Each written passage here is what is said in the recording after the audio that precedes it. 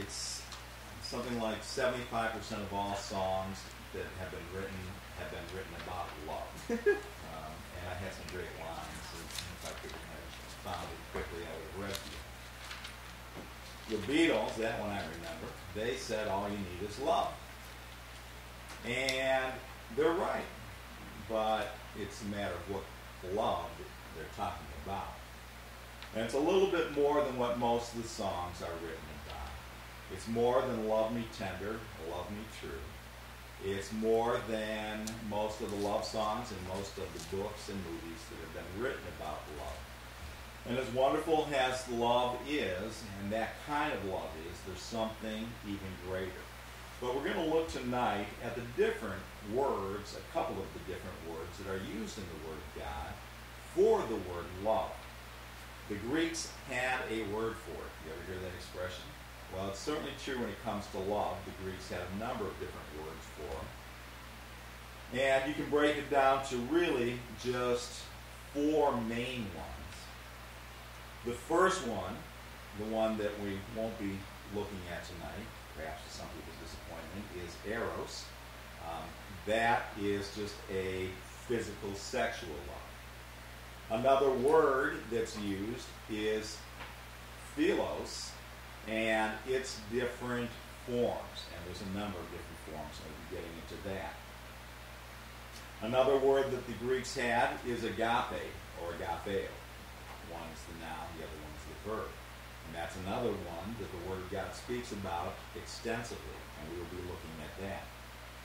And the other one is stor, storge, but we won't be getting into that in much detail. I think one verse may have that in it. These different words for love are all significant, and they're used with a real exactness in the Word of God. Did I tell you 1 Peter chapter 1? Mm-hmm. Yes. Yes. It's good because I was looking at second. First Peter chapter 1, verse 22. Seeing ye have purified your souls in obeying the truth through the Spirit unto unfeigned love of the brethren, see that ye love one another with a pure heart fervently. The way that reads in the King James Version sort of doesn't make a lot of sense. It says, Seeing that you have purified yourself unto unfeigned love, see that ye love with a pure heart fervently. It sounds kind of like you're being told to do something you're already doing. It's like my saying, seeing that you are eating, if I said no, seeing that you are eating all your food, eat all your food. You say, I'm eating. Why are you telling me that? Or if I said, seeing that you're working so hard, work hard. Well, why do you need to tell me that? I'm already doing it. If you read it just in the King James Version, it seems like that's what we're being exhorted to do. Seeing that you have purified your souls into obeying the truth of the Spirit unto unfeigned love of the brethren, see that ye love one another with a pure heart fervently.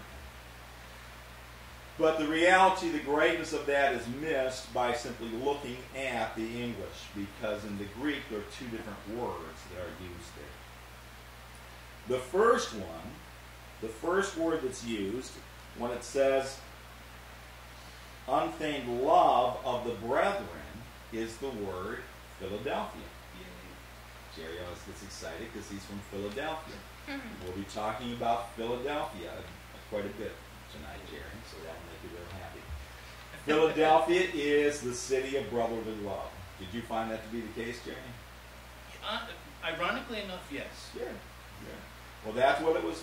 That's what they endeavored to live up to with their name, and that's what it means literally. Philadelphia literally means brotherly love, and it's used quite a number of times in the Bible. Brotherly love, Philadelphia. The second word, where it says, see that ye love one another with a pure heart fervently, is the Greek word agape. And that word doesn't mean brotherly love, it means the love of God. The love of God, and really in its fullness, which hopefully we'll get to, is the love of God in the renewed mind in manifestation. That love is something that does not appear in the Word of God until the New Testament. it's a love that wasn't even available really until the time of the new birth. It's a love that Jesus Christ taught about and becomes available in its fullness after the day of Pentecost. Turn to Romans chapter 12.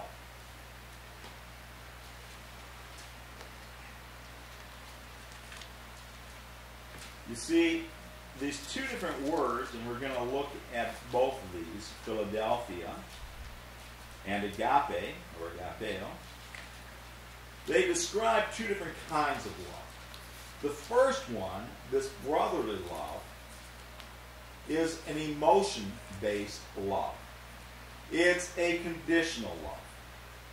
It's a love that's very good, but it is a kind of love that you have for some people and not necessarily for others. It's that kind of love that you would talk about with a close friend. Somebody that you care for, somebody that you love, but it's that human emotion based love. And there's different forms. As I said, Philadelphia comes from another word, philos or phileo. And those words are always descriptive of an emotional human love.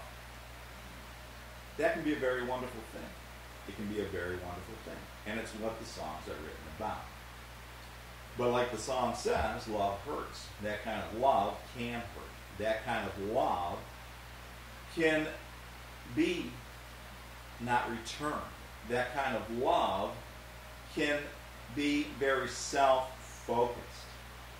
The guy who sings about love me tender, love me true, he's looking for his needs being met. He's not looking so much for what he's giving, but what he's receiving. And it's very conditional. You know, Al was saying about that, you know, some pretty girl. He wasn't singing about that to the Memphis Mafia. There was based on things that attracted him. That's that kind of love. And whether we're talking about it in the romantic context or whether we're just talking about it in the context of friendship, it's still conditional. You love somebody because of certain things. I love this about you. I love that about you. I love the way you do this. I love the way you look. I love your caring, your compassion. I love your intelligence. All of these different conditions that are behind that love. And again, there's nothing wrong with that per se, but just understand that love is not unconditional. Agape is an unconditional love, and it's the only true unconditional love. People use that term erroneously so often nowadays. They talk about unconditional love when really they're speaking about a love that's based upon condition. You know, I always mm-hmm. like the example of dogs love unconditionally. Really? It has nothing to do with the fact that you took this dog in and that you've given him a good home, and that you care for him, and that you showered all this affection on him. He just loved you unconditionally. No, that's not true. The reason why that dog loves you is because of all of those things that you've done for that dog. Tristan is learning to love Angela because Angela loves Tristan. And she's a wonderful mother, and she loves him and holds him and cares for him and takes care of him and feeds and all of that will bring about the natural response of that baby loving her in return. And that's a wonderful love, but there is that condition, that relationship that that's built upon. But the love of God is truly unconditional. And we'll see this as we go into it more. We're going to tell you Romans chapter 12. Mm-hmm. Romans 12 we once again see the two different kinds of love expressed in this verse Romans 12 and in verse 9.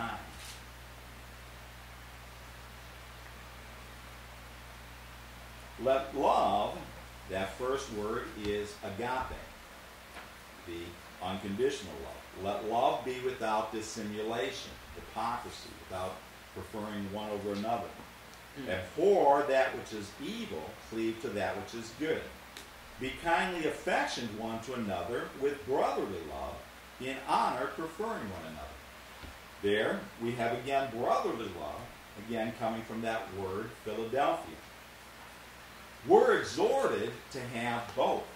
It's not that Philadelphia is wrong.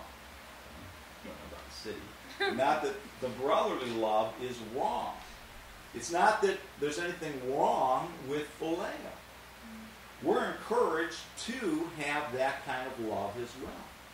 Be kindly affectionate toward one another with brotherly love. God wants us to do that. He wants us to develop those friendships, to get to know each other, to have that kind of real affection that comes as you do build a relationship. But he also wants us to love with that love of God. He wants us to love not just those people that you might choose to make friends, not just those people that you sort of naturally would hit it off with, but he wants us to love everyone unconditionally, without limit. That's the love of God. We won't go there, but in Hebrews 13.1, it again says, let brotherly love continue. There again, we're exhorted to have that brotherly love, to continue to, to use it. We will look at 1 Thessalonians chapter 4, where again we see the two compared one to another Philadelphia and agape. 1 Thessalonians chapter 4 and verse 9. But as touching brotherly love, ye need not that I write unto you. For ye yourselves are taught of God to love, agape, one another. As touching Philadelphia, brotherly love, there's no need that I write unto you because you're taught also to have the love of God, that agape. You see, as wonderful as phileo or Philadelphia love is, the agapeo form is even greater. It's an even greater love. Love is wonderful.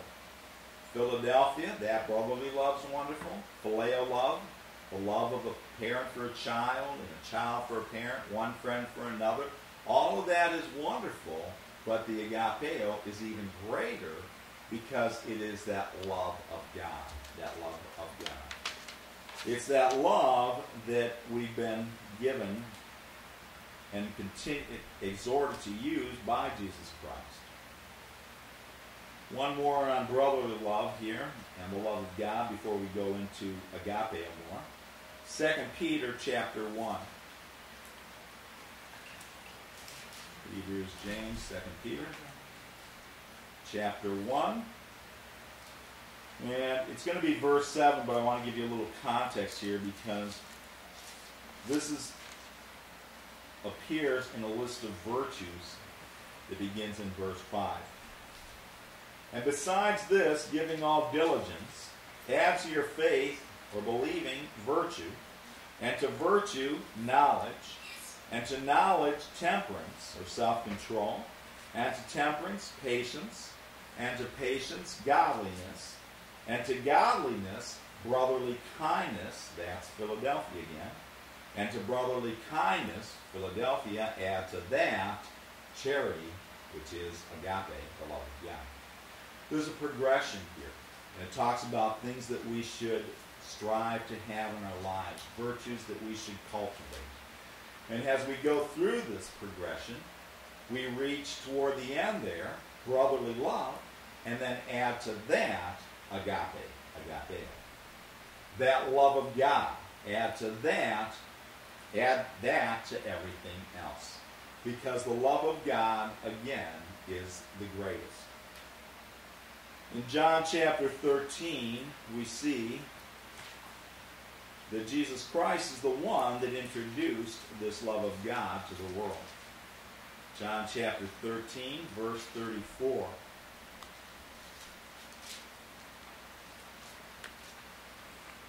A new commandment I give unto you, this is Jesus speaking. A new commandment. They've had lots of other commandments before. This one's a new one. That ye love one another. That's agape. As I have loved you, that ye also love one another. In all cases, it's actually the verb form agapeo. We are to love one another, just as Jesus Christ loved us. And that's the new commandment that he gave. This commandment of love. This commandment of love that when we follow it, then all the other commandments just kind of fall into place. Look at Luke chapter 6. Hmm. Here again, Jesus speaks about this agape form of love and he describes it and gives us more of an idea of what it's all about. John 13.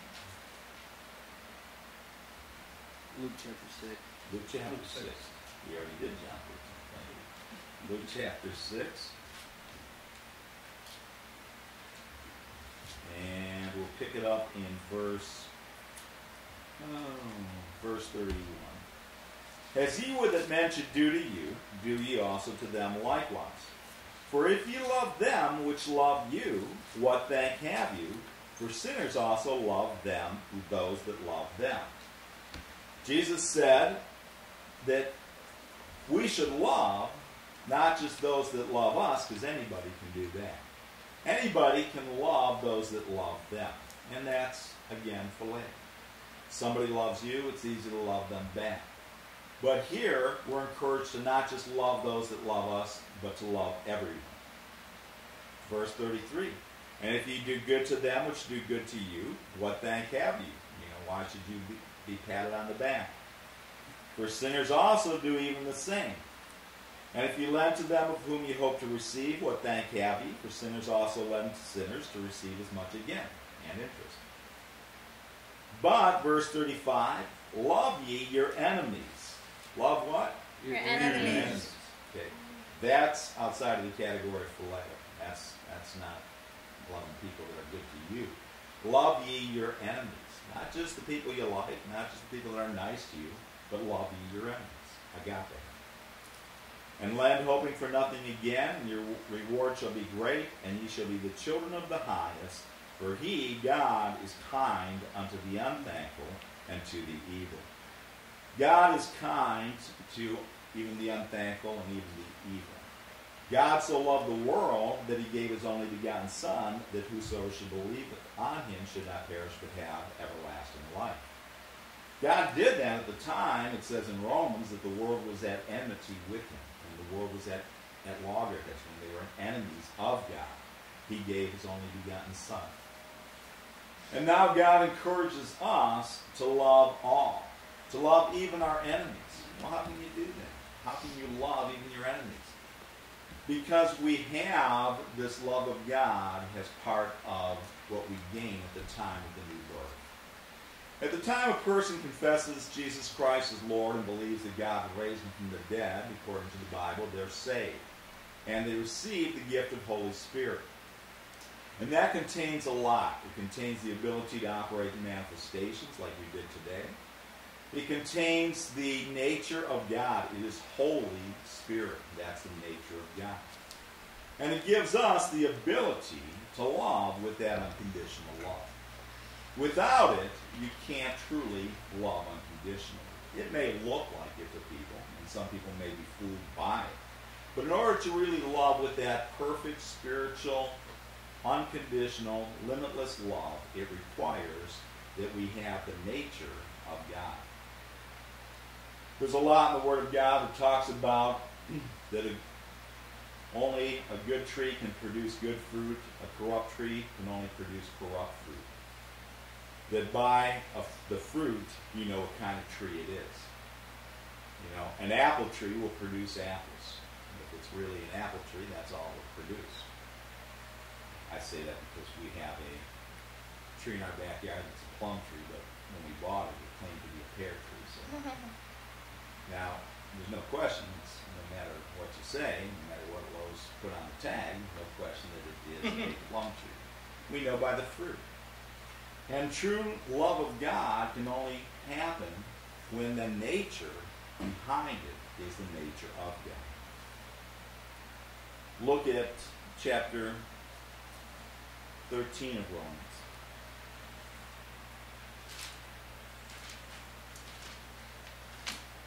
Again, looking at this love of God and understanding greater what it is and how it is the fulfillment of all the rest of the commandments.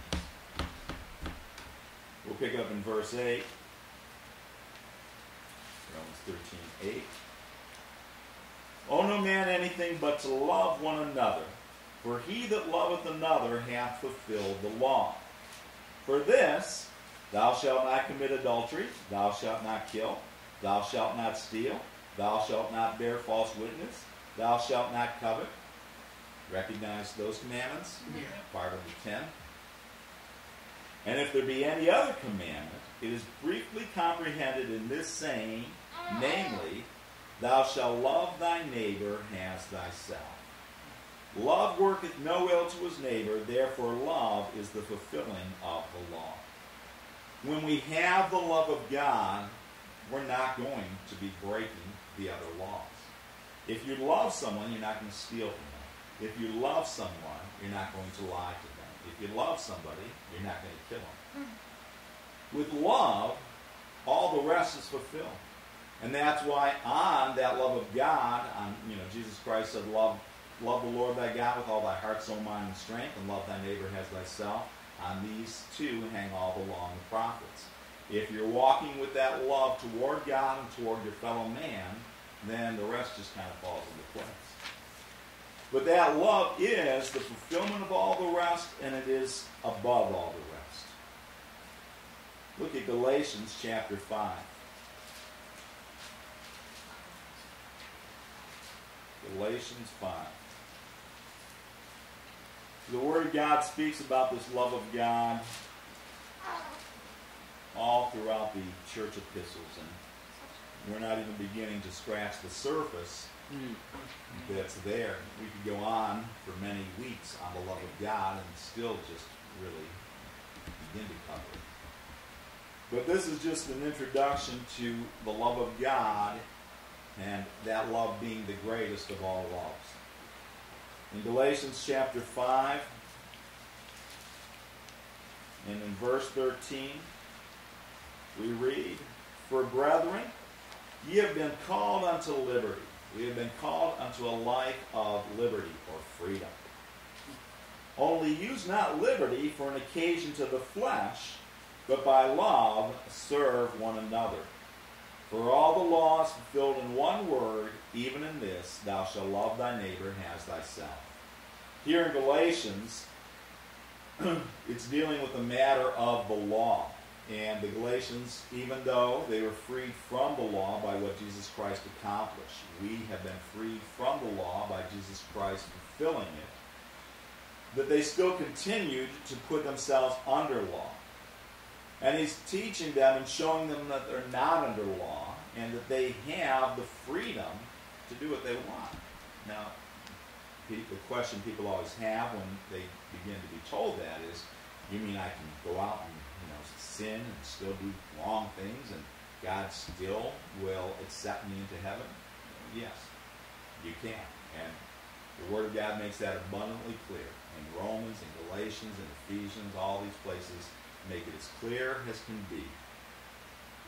Is that what God would want us to do, though? Mm. We have the choice. And God loved us so big that when we understand the depth of that love, we don't use that choice, that freedom, that liberty as an occasion to the flesh. We don't use it to just waste it away our lives on serving the flesh. But just like that baby learns to love and in turn loves back, the more we understand God's love, the more our response is, is to love back. The more we love God back, the more we love His people. The more we understand the depth of God's love, the greater our love for others becomes. And finish it, did I? Verse 15. But if ye bite and devour one another, take heed that you be not consumed one of another. If you choose to go by the occasion of the flesh, then you know you're just going to end up biting and devouring and consuming one another. Down in verse 22, and this is where we'll close.